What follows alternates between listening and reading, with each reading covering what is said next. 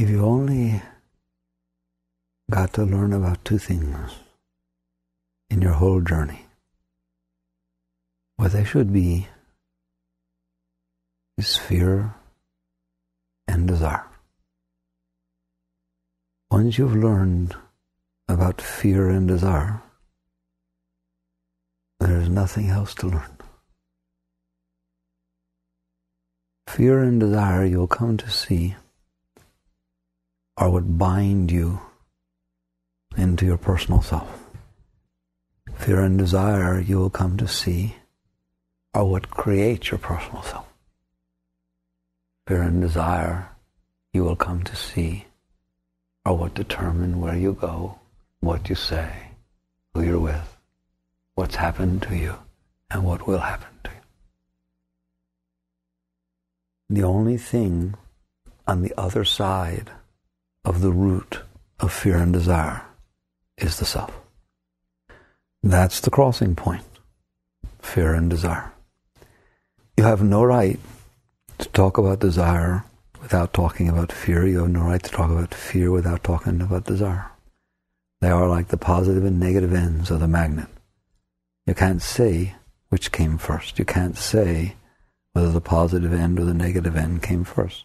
A magnet, by its nature, emanates on one end positive, on the other negative, and it is the interaction of that force field that gives it its power, and everything goes out from there. That's how fear and desire are. Let's look at them. What is desire? What is fear? Desire is very, very easy. Desire is your natural, instinctual, innate, intuitive attempt to compensate for what's missing. If you are not whole, if you do not feel complete, if there's not just a state of total content well being in your heart, your mind, and your soul, there is the soul's tendency to want to make it whole, to want to be complete, to not have to deal with the sense of lacking. That attempt to fill what's missing is the power, the force, the vector of desire. It's not a bad thing, not a wrong thing. No more than if you don't drink properly, you get thirsty. You don't eat properly, you get hungry. If your soul is not whole, if your being is not complete, there is a deep, deep, deep force that wishes to bring about the completeness. That attempt to compensate for what's lacking naturally within causes the reaching, the drives, the impulses, the urges outside.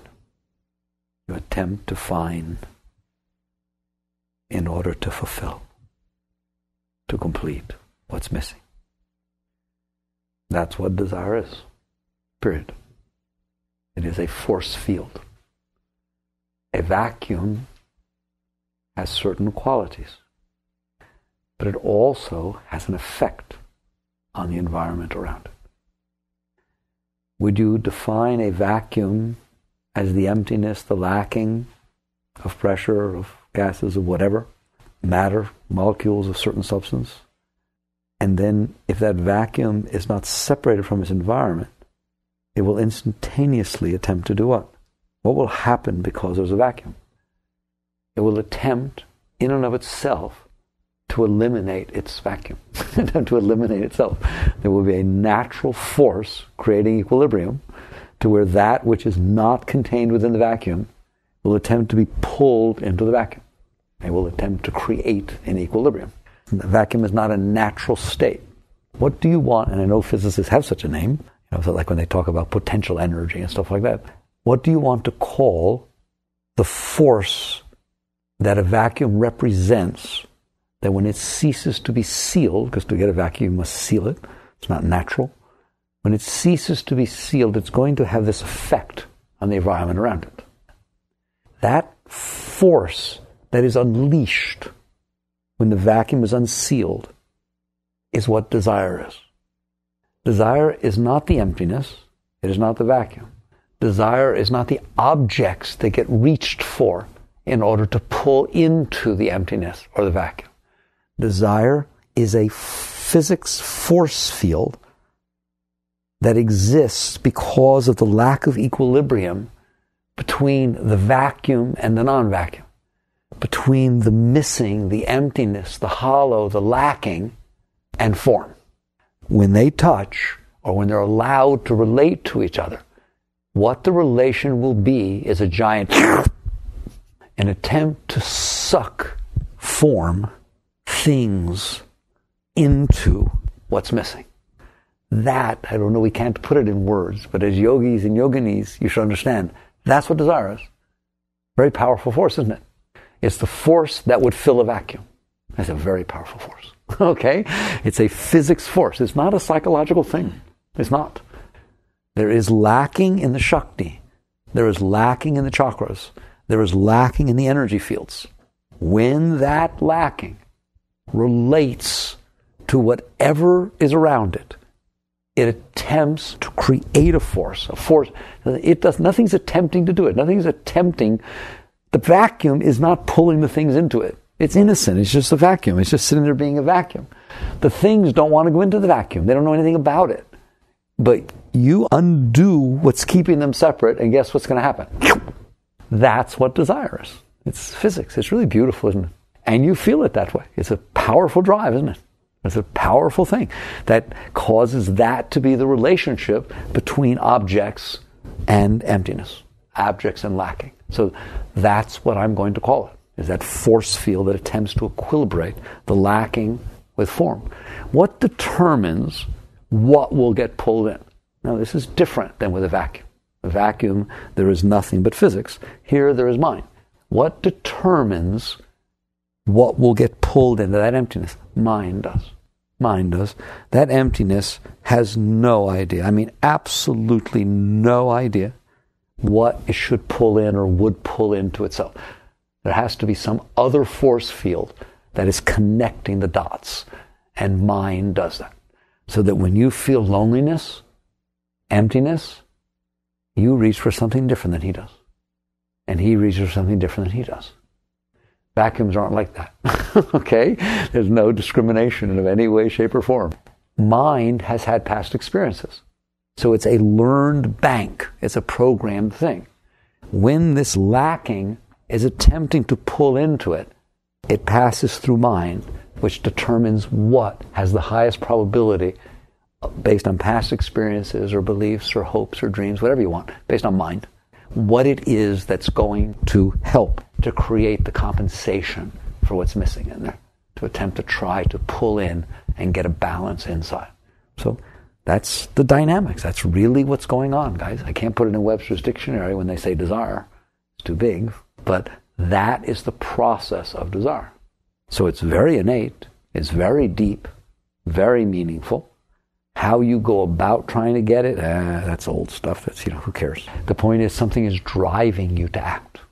Something is urging you, pushing you, and pulling to cause this to happen. And, and you're not comfortable sitting inside without that no more than you can stay outside of a vacuum that pulls on you. It's a very unnatural thing to sit there and have that going on inside and do nothing, isn't it?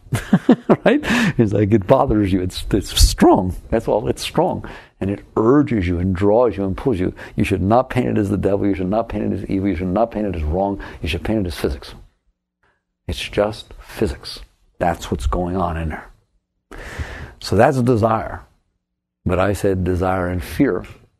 And you shouldn't talk about one without the other. These are the opposite poles of the magnet of the lower self, of lower creation. What is fear?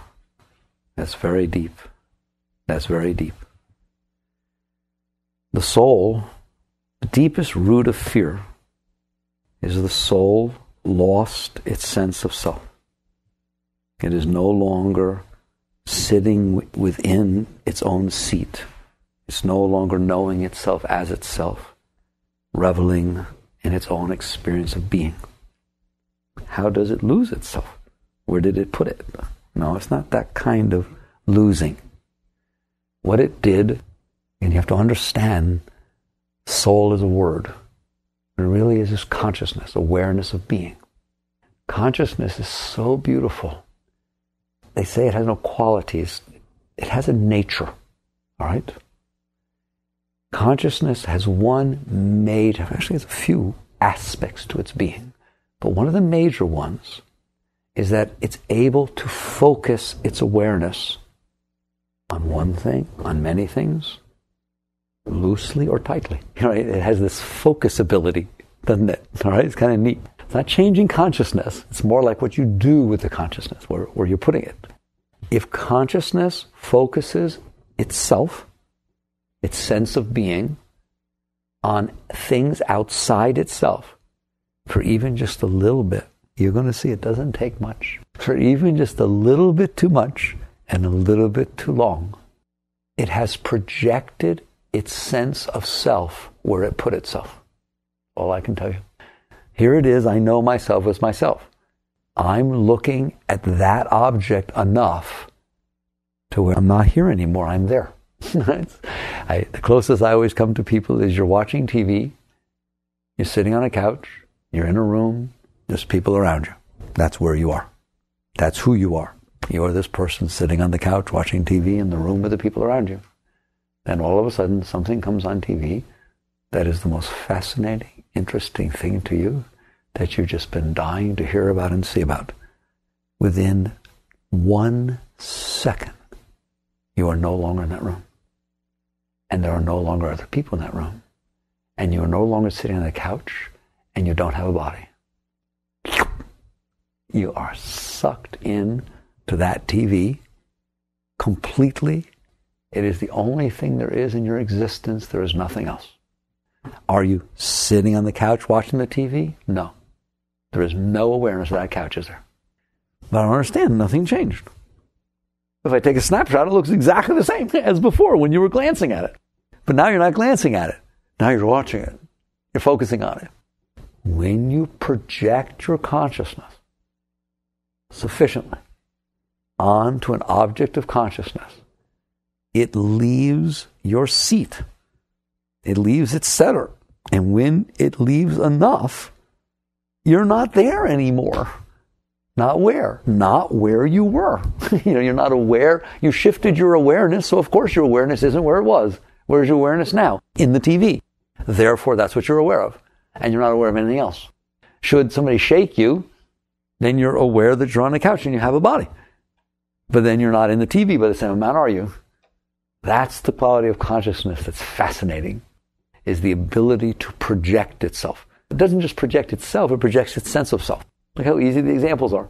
You do it all the time. All the time. So basically, that's how you get lost. That's all.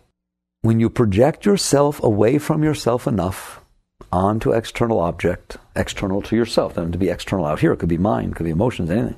When you do that and you identify with your objects, your soul is lost. Very sad. Your soul has a deep sense of its being, and there's a sense of wholeness, and a sense of completeness, and a sense of God, a sense of its divinity, without thinking. That's its natural, intuitive state.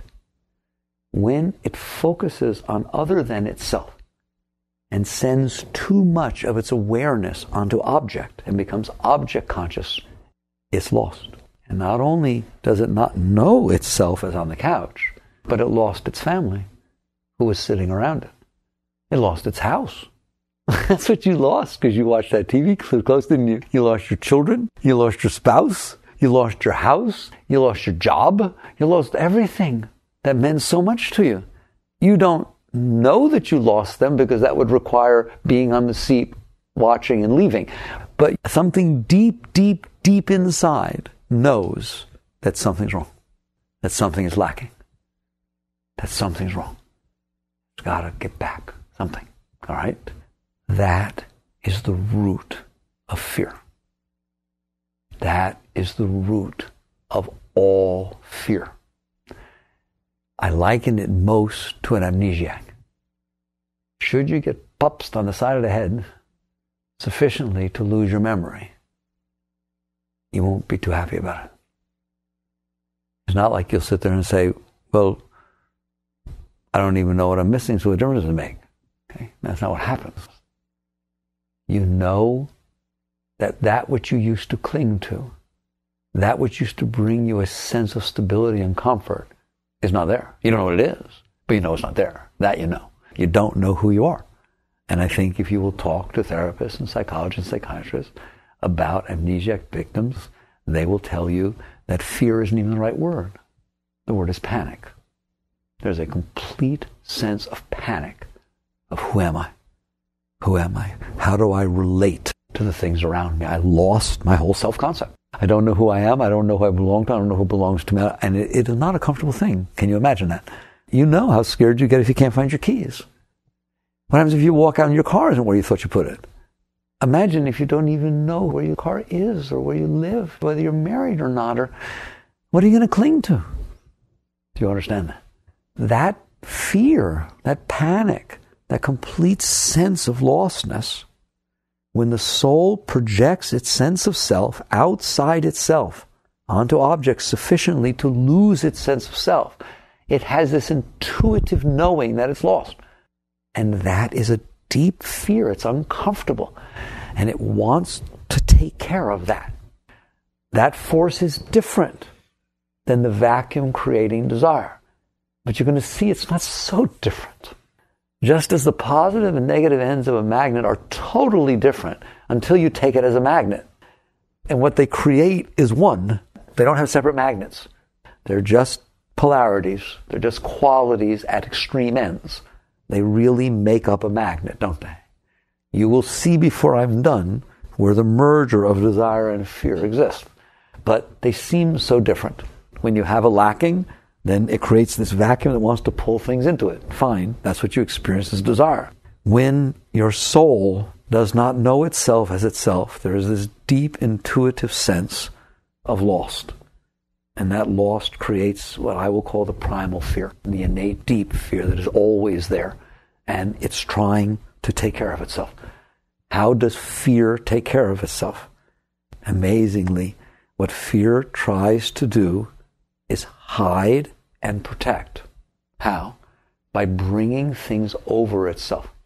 It tries to pull things to itself so that it doesn't have to be exposed, so it doesn't have to deal with itself. So it wants to involve itself in other things. It wants to bring things closer to itself. It wants to form alliances and allegiances of places of trust. It wants to do anything it can to create a place where it can live other than in itself. So fear tries to get away from itself. Fear is afraid of itself.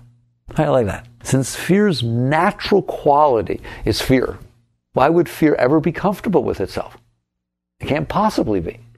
So what does fear try to do if it's afraid of itself? It tries to get away from itself. And that's what you do with fear. If you will watch fear carefully, you will see you do not want to experience and you do not want to stay there. So you try to go somewheres or get something or do something so that what? Not to solve the fear. You don't even try to solve the fear. You just don't want to feel it. You don't want to experience it. You want to get away from it. Anything you can do to where you do not have to experience that thing. That is the tendency and the force that fear creates. Fear is interesting, almost like opposites. Fear creates an energy where you attempt to get away from it. All right? Desire, by its nature, is trying to pull things into it. But you're going to see in the end how similar these things are and how their roots are so much the same. You may even already see it. So, net is fear and desire run your life. They run everything you do. You are either going out there because you see something you want to get, to hold on to, because there's a lacking inside of you and you want to pull this, or you see something out there that you want to stay away from or you want to get so that it helps you avoid your fear. If there's something outside that stimulates and pushes you back into your fear, you don't have nothing to do with it. I don't want to get anywhere near it. Get it away from me. Why? I am afraid of my fear. Or you see something outside that looks like if I can just hold on to that, person, place, thing, finances, gun, all right? Whatever it is, if I can just have that, it will keep me away from the fear. power, handsomeness, beauty, fancy car, anything I can do that will get me away from when I'm experiencing this fear. So these are the forces, one or the other polarities of that magnet that are driving your life. They are also the forces that create your psyche. Your psyche, every bit, I mean, if you're deep enough, and you better be by now, to watch every single thing your mind says and be aware of every single thing that pours out through your heart, and you can just watch her. you just watch her. It's a thing that you watch. When you watch, you will see. Here, remember in high school physics, maybe even earlier, they would take a magnet and they put it under a piece of paper and they put metal filings on top of the paper and all of a sudden they shake it off or blow it off. And the filings some filings stay. And then they taught you this is the only way you can see a magnetic field. You can't actually see it but you can see where it is now. That's what you're looking at all right? So the magnet is not a magnetic field. The magnet is a magnet. But the magnet emanates creates results in a magnetic field of a particular shape depending upon the shape of the magnet depending on the strength shape nature of the magnet you are to think of desire and fear as the poles of the magnet. You are to think of the resulting field with its shape and qualities and nature as your personality, as your psyche, as your entire ego. It is the result of the polarities of desire and fear. It's what gets created, emanates out of this core of the underlying desire and fear. You build an entire personality, an entire psyche based on that. Well, let's watch that happen. Let's make believe there's emptiness inside. We'll start you off as enlightened. we'll start you off as Buddhist, okay? So what we have inside is empty. Empty mind. Empty mind. What's empty mind? Mind with nothing in it. mind with no thoughts. Mind with no structure. Mind with no personality. Empty mind. Okay? Except it's not empty enough. Behind it is still core of this underlying forces of desire and fear. All right? In other words, it's not at balance, it's not at peace, it will not stay that way. So what happens now is you're feeling this pulling, this theme about desire, let's just say. You feel lacking inside and it's trying to pull. Right? So what happens is it has an experience. It meets somebody who's nice. She's nice. You meet her, she's nice to you. She's a hippie girl, she's nice to people. She's nice, she says something nice, that happens, and all of a sudden what happens? It pulls that in and creates a moment of better. The emptiness feels better because this energy got pulled into it. Now, if that were a solution, that would be the end of my discussion. The problem is when you bring that into yourself, how long does that feeling cessation last? Nothing. How do I know that? Because the very fact that you liked it, you want more. Right? It creates more desire. It creates more urge. You, want to go visit her more. You want to start hanging out here. That what happens? Somebody does something that's nice. You want to find out where she lives. You want to get her phone number. You want to go shopping again where you met her. Right or wrong? Is that what people do? There you have it doing its thing. So this impression came in and it not only came in and did some movement with the lacking, which didn't last one iota, but all of a sudden we don't have empty mind. She's in the mind now. Nice girl's in the mind. It's not empty anymore. So now all of a sudden when you're driving by Publix where you ran into her, mind is stimulated. Mind is activated, as is desire. Because it relates. Remember I told you the mind is what relates the lacking, what to do about the lacking. Mind comes in, oh, go see her. Right? Go hang out over there. Maybe it'll happen again. She'll be nice to you again. So we don't have empty mind anymore. And we start to build that. So not only do I have holding inside this event, which is now linked to my emptiness and created a desire and a need and a preference and so on, it literally becomes part of me.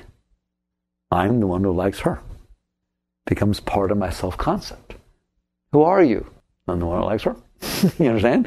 So now something else happens. Then something else happens. Then something else happens. I'm the one who likes this. I'm the one who doesn't like this. That's how it gets built, isn't it? So your whole model your whole self concept, your whole personality is held together by these magnetic fields of the desire, and I could do the same thing with the fear. If you have that fear and you're afraid of that fear, and Mr. Tough Guy comes up and threatens you because you're parked on the side of his road to change your tire or something, guess where you're not parking next time? okay? You know, guess what? We no longer have empty mind. We now have, oh my God, it doesn't like him, and I'm going to go near him or anyone who looks like him. Okay? I'm building it, aren't I? I'm building you. I'm building a you. All right? Whichever you you want to build, that's how you build it, isn't it? And I end up, see, Skinner, who remembers Skinner? Man is the sum of his learned experiences. Did you study that in psychology? Huh? Is that what you were taught? Man is the sum of his learned experiences. So we have that line. I love that line. That which I have described so far, that went from empty mind to personality to psyche, is the sum of your learned experiences. Girls showed up, guys showed up. Think all of a sudden I'm developing an entire personality, an entire way of being, an entire action pattern. Likes, dislikes, actions. My actions are predictable now. Put her around, I like one way. Put him around, like another way. Just like the mice. Really, really neat. Yes, it is true that the psyche is the sum of the learned experiences. There's just one problem. You're out there studying it, Mr. Skinner, and seeing all this. I'm in here watching.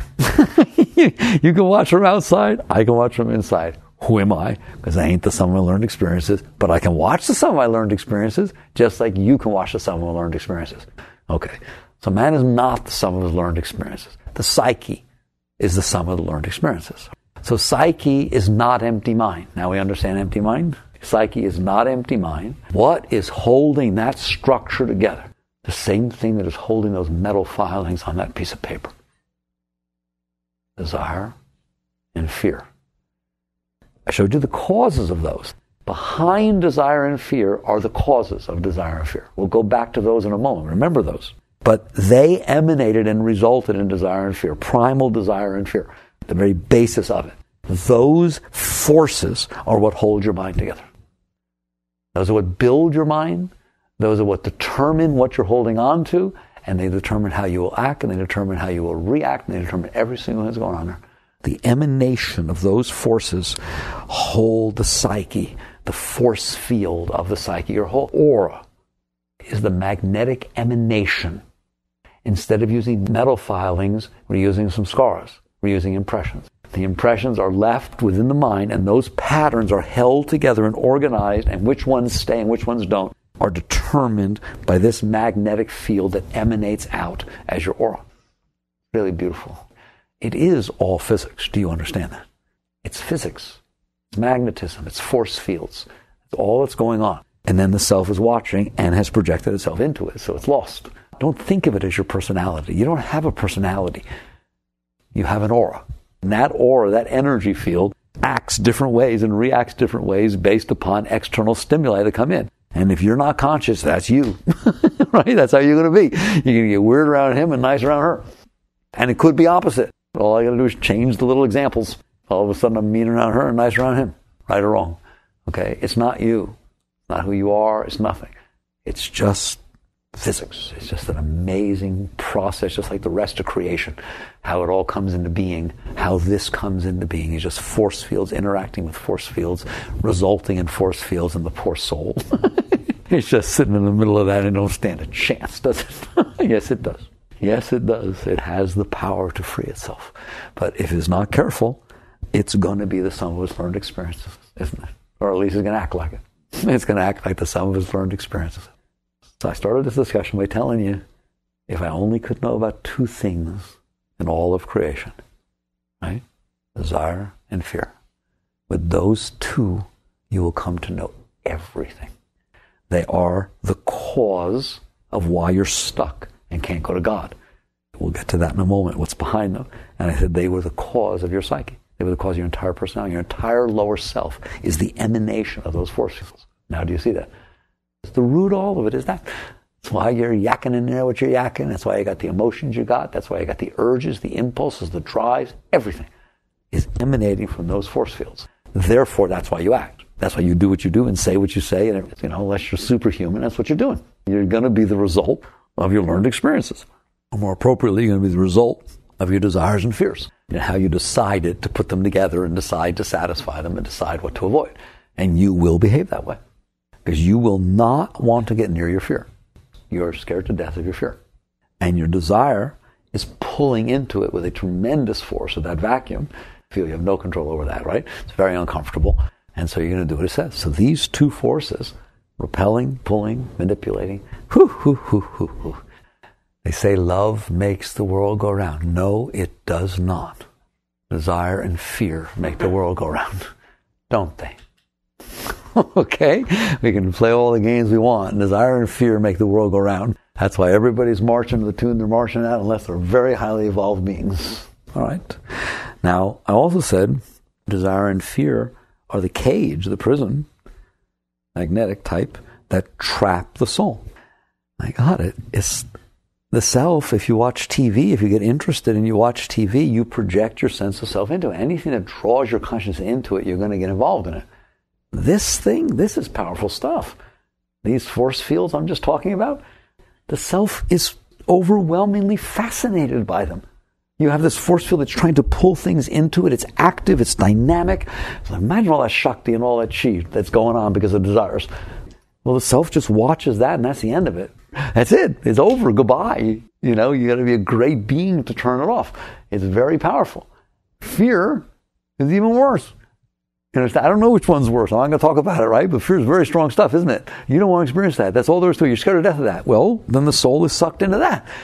Isn't it funny how if you're scared to death of a snake, what do you do? Stare at it. Very interesting. like, well, I want to know where it is. I don't want. Want. I don't want to get anywhere behind. I don't want behind me. Which would you rather have? Something you're scared to death of behind you or in front of you? I asked you that once before, didn't I? No question, is it? I'm not even close. right? I want it where I can see it.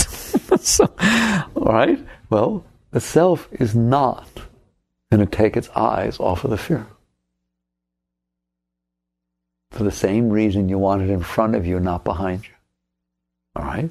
And the self, unless it's very evolved, is not able to not be fascinated and drawn into the chi of desire, of that pull, of that force. In other words, it's going to satisfy something. It's going to take care of something. I'm going to be okay.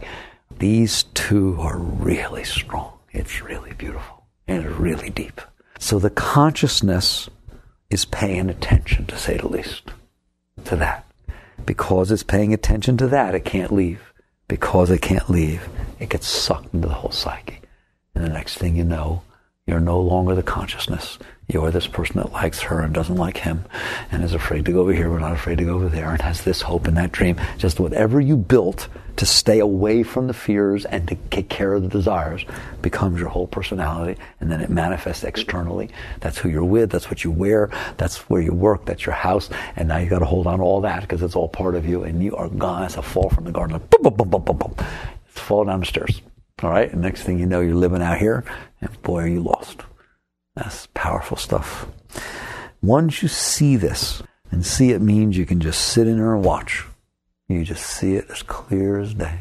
When you really see it, it's when you're no longer messing around with what's going on outside. You've already seen it. It's just outside is just a result. Your whole relation with the outside is just a result of what's going on inside. So who cares? No smart person deals with results. You deal with causes. You're not going to solve anything by dealing with results, are you? If you go there, deal with the result, you didn't solve the cause. What's the purpose of pushing around with the result? Your entire relationship with the outside is a result. I just showed it to you, didn't I? It is a result of what is going on inside of you. So when you get wise, that's not where you put your attention at all. Not renunciation. I have to tell you that because it sounds like it. It's not. It's not even close to renunciation. Renunciation is push it away. It's got nothing to do with pushing away. This is just, it is not a cause, therefore I'm not interested. I'm neither for it or against it. It's just a result. If I blow on something, it, it goes away. If I want it close to me, I'm not going to worry about the fact that it goes away when I blow it. I'm going to worry about why am I blowing on it. You take care of that, it's over. That's why you don't mess with the outside. Not because it's wrong, not good, not bad, not right, not wrong, not better, not worse, not renounced, not nothing. It just is not a solution to a single thing under any circumstances ever. You seen that yet? That's what I want to know. you seen that yet? It is not a solution to a single thing ever. Never will be, never has been, and that's that. Because it's a result. Temporarily, sure. We already talked about that, right? But just wait, you'll have to keep going. Whatever it is that you think is satisfying you, you know how you know it's satisfying? You don't have to do it again. How's that? That's how you know it's satisfying. That's how you know it worked. You don't have to do anything. It's over. Well done. Goody, thank you. Right? We got married. Bye. It worked. I knew it would. I knew if you proposed to me and we could get married, it would totally fulfill me and I'd be happy for the rest of my life. Okay, goodbye. No, that's not what's going to happen and you're not going to be happy for the rest of life. Either way. You got it? Okay. So, net result is the outside is not a solution. It's a result. Once you see that it's a result and not a cause, why would you keep hitting your head up against the wall? Doesn't work. Okay, at some point you catch on. So now what? Now you look inside, and what you see is mind. Mind and heart. Very noisy mind. Very active heart. So it seems as though what you need to do is fix that, but it's not. But no one will teach you that. It has nothing to do with mind and nothing to do with heart and nothing to do with outside. It has to do with the polarities that are creating mind and creating heart. Mind is a result. Heart, you know what I mean by heart, emotional heart, is a result. They are not causes. They were causes of your outside behavior.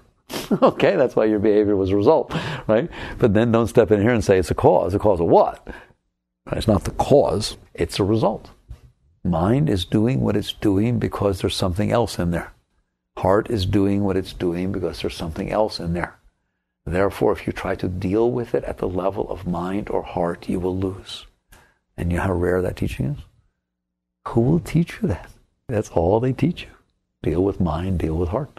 How mind is supposed to be, how heart is supposed to be, and what to do about it. No, it's much deeper than that.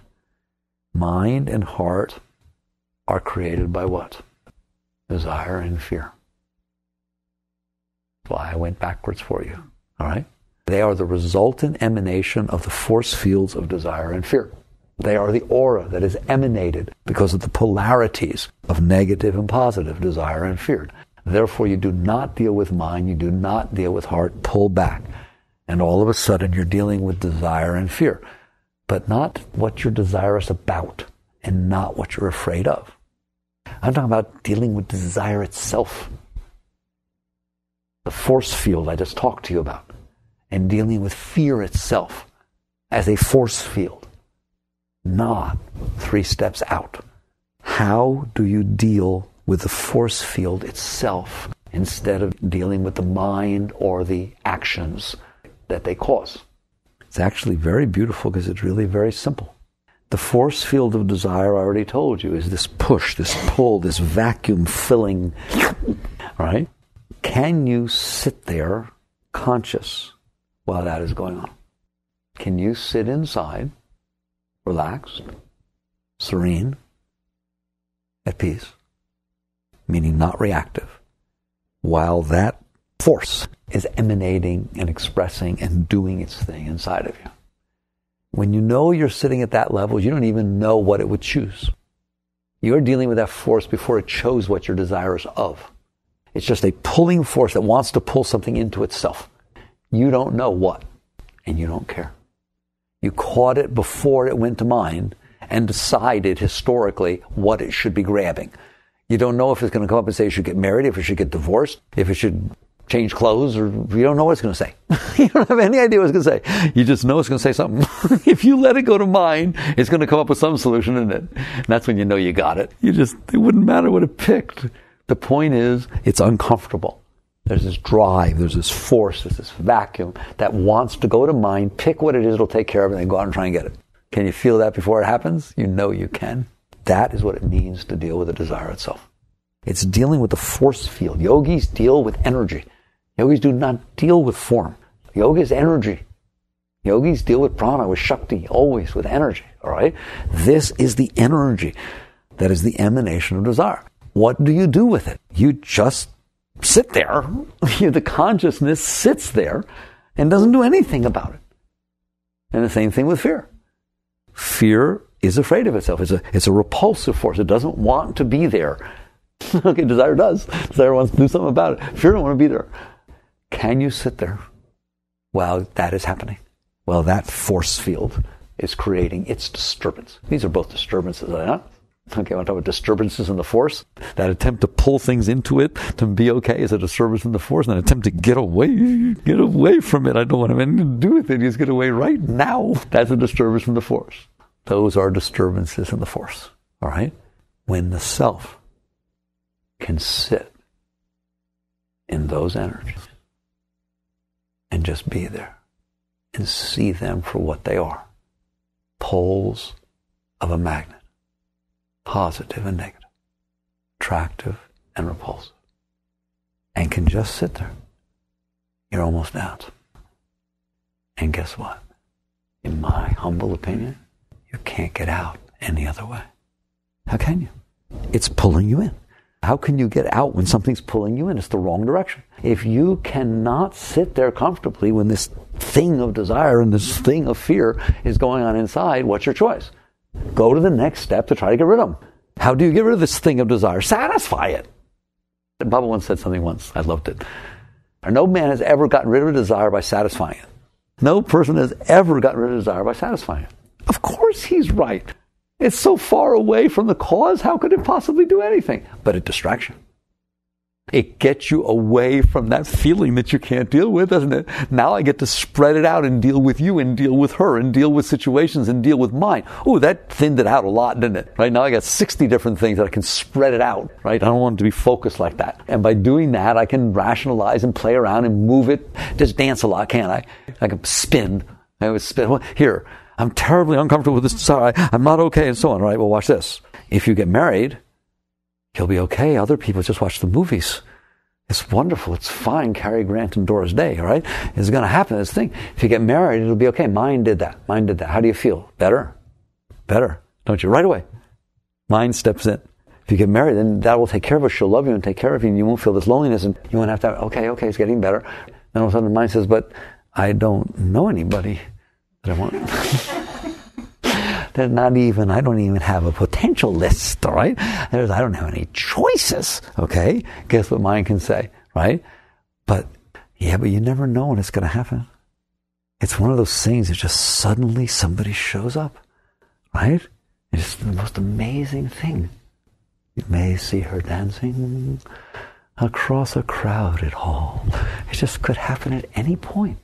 Or it could say, God, now that I know what it is, I'll bet I can attract it to myself. Right? It's like mind gets you out of it, doesn't it? You don't have to sit in that fire of the energy because you can go to mind and play. Did that solve anything? Since when did distraction ever solve anything? Of course not. All right? I'm having a terrible time. I'm going to a movie. I'm going shopping. Okay, just don't come out. because when you come out, you're still going to be having a terrible time, aren't you? There's still an issue. There's still a problem. At some point, it will be restimulated. You did not deal with it. You distracted yourself from it. That's what we do. The choice is if you can sit there, you don't have to go out there. You don't have to play that game. You don't have to get thrown out by the world. Can the soul sit there in these forces of desire and fear? And the answer is, of course. Of course. It's not about the ability or the potential ability. It's about the intention. Do you really want to? It's the level of commitment. Because if you want to, you can. And that's true of everything. That's why it is said to you that the soul reigns supreme. The soul reigns supreme. There's no energy in this creation that is more powerful than the energy of your soul. Your will, which is, that is the energy of your soul, by the way. That intention is just how much will. It all goes back to the soul. Will comes from the soul. A moment, you're going to see fear and desire come from the soul. and then all the rest emanates out from there. It all comes from the soul. And the soul is supreme over all of it.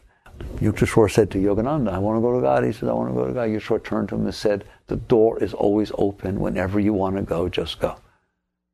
Now, there will come a time where you will understand that's the truth and always has been the truth. While you care more about staying away from fear and not having to deal with those impulses and forces of desire, don't you dare say you want to go to God. Because the answer is you can't be sitting there watching every single thing about that TV and then say, Where's my wife?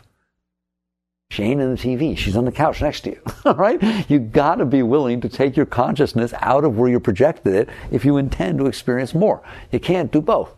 They're mutually exclusive. If you are totally fixated and completely uptight about the fear and about this impulse drive of desire, and you're unwilling to sit there, then you can't leave, can you? You have to get in to do what you can do. The minute you're trying to avoid those forces, you are on the other side of those forces from where you want to be. The soul sits behind them. There they are. The only way to get away from them for you is to go in front, to distract, to put your consciousness elsewhere. That's it. You're not going to put your consciousness back here.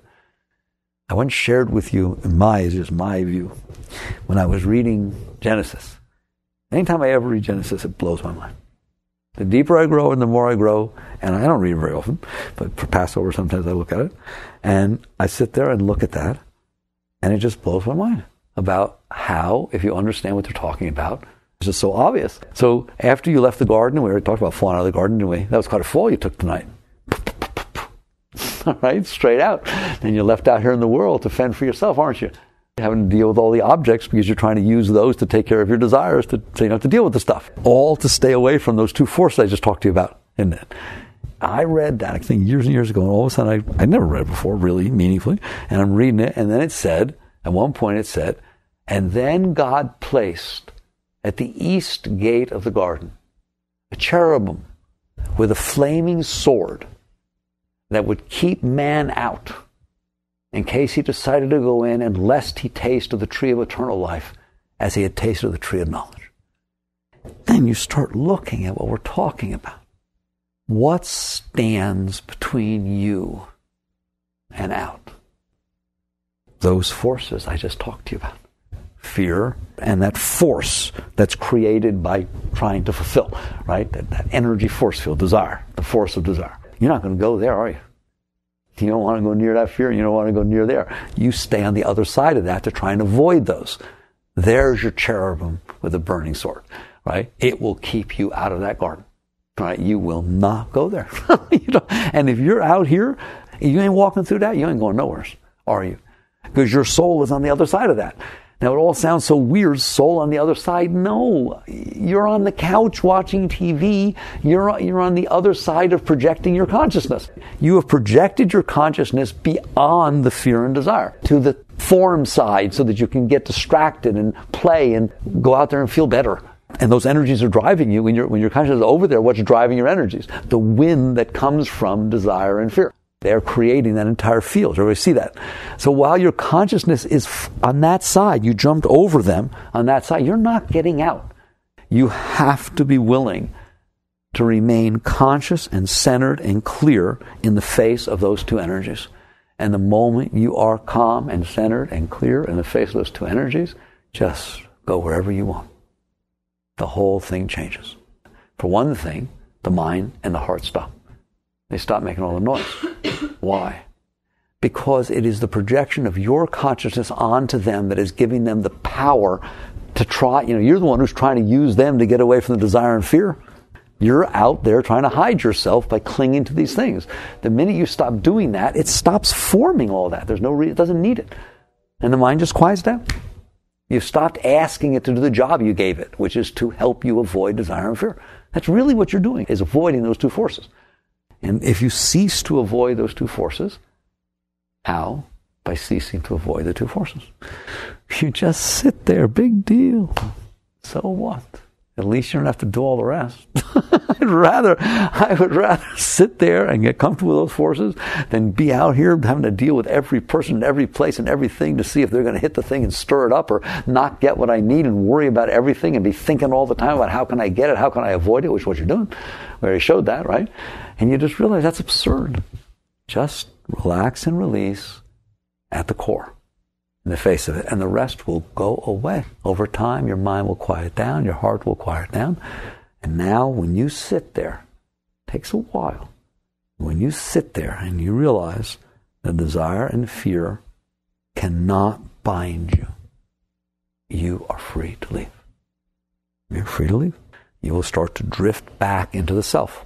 And all of a sudden, those forces of desire and fear that seem to be so overwhelmingly powerful will be at a distance and they too will become crickets. They're just like crickets in the background. Where are you? You are in the self. You are in the self. You are sitting in the awareness of your being, watching what used to run your life at a real distance. So I wanted to deal with desire and fear. Now, I told you before it's done, you'll see that they're the same thing. They have the same root. The emptiness and the lacking that we said was behind the vacuum. That's what I said. Desire was caused by emptiness or lacking. I also said that when you projected your sense of self outside of self, you felt lost. You got amnesia. That hollowness is the same root.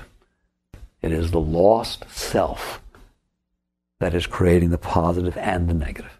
That is the same lacking. It's the lack of self knowledge is the true vacuum that is causing all lacking that is inside of you. The lacking of love, the lacking of complete lacking of this, self conscious, whatever it is, all that sense of something's lacking is really because you're missing your whole being. And it is only when you come to know yourself as yourself that that goes away. And both go away simultaneously. Desire and fear go away together. They both are gone. They're gone. Because once you know yourself and you're comfortable knowing yourself, what exactly could you be afraid of? We already said the fear was because you had lost yourself. Now you have no loss of self. What exactly could you need? Nothing. There's no emptiness, therefore it creates no desire. So the root cause of both the positive and negative is ignorance, is lack of self realization. That, that's why they say with the act and the moment of enlightenment, all samskaras, all karmic patterns fall away instantaneously. They're all burned in the fire of enlightenment. That is not poetry. Because the cause of all of it is gone, it all falls apart. If I turn off the magnet, all the filings are gone. I don't have to pull them off one at a time. all right? You, that's it, it's gone. So, this is a good thing to understand. At whatever level you can, what's the action item? Be comfortable with core fear and core desire before they have taken form, you will see them. Relax. Just relax and be comfortable with them. The self can be in the presence of anything. Who cares? It's just something you're watching. If you're comfortable with it, you don't have to try to avoid it. If you don't have to try to avoid it, you get to leave. Mm,